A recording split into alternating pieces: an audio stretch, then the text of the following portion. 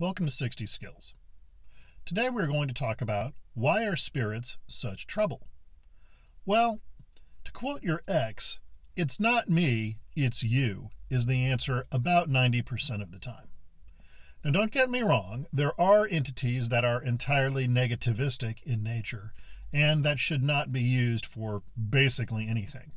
John Michael Greer, in his seminal work Circles of Power, refers to these as shards. You can do your research on that, but essentially they are incongruent pieces of a former reality that somehow managed to survive into this reality. The result of which is they are as hostile to human existence as the center of a star. There is simply no point in dealing with them, and the people who do deal with them always suffer as a result even though that suffering may take quite some time. Now, for the majority of the cases when you're dealing with an entity, the issues come in one of two flavors. First, most of these things reflect off of your own internal poles or mirrors. So, whatever behaviors you have, whatever knowledge you have, whatever beliefs you have, these things largely reflect off of that, and that is what you get. So, if you have not developed your own non dual light, or you have not bothered to moderate any of the harsher aspects of your own personality through exercises like repeatedly establishing equilibrium, or the black and white mirror exercises, or the releasing exercises, the reflection these entities are going to provide is going to be based off of this unmitigated behavior. This is where a lot of the negative incarnations of an entity come from. Now, that is one aspect of this, and this needs to be kept in mind. However, there is also another less often discussed aspect of this that requires some exploration. First, the kind of representation you get from an entity has a lot to do with what level of existence that entity is manifesting on. So, if you are manifesting the non dual light version of an entity, what you are seeing is the better nature of that entity. So, in short, in the 60 skill system, what this refers to is creating or invoking the entity in that ball a hand width above the head. Again, their non dual light manifestation can provide virtually no services or actions to you in the real world. What it can provide is information, and because it is being invoked at the non dual level, the cost of that information is generally quite low.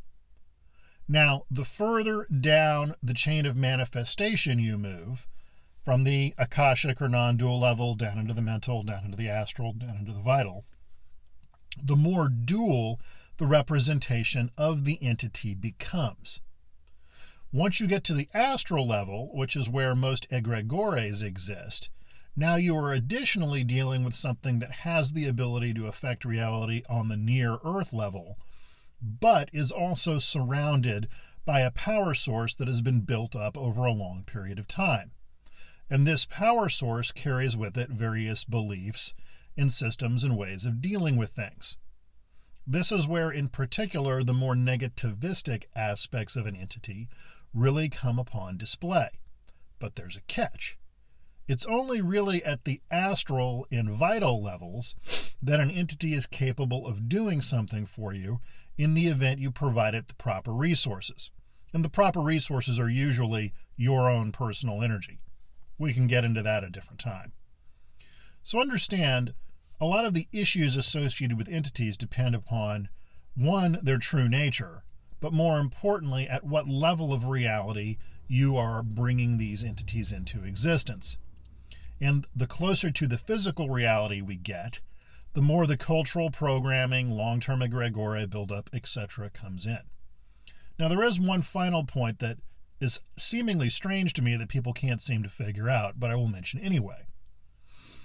The issue of whether or not entities can ultimately lie is open for debate and nobody has a really good answer to that. What is not open to debate is whatever world these things live in, physically speaking, is vastly different than the world we live in. So just because something is possible for it to do in that place does not mean it is possible for those same rules and procedures and techniques to work here.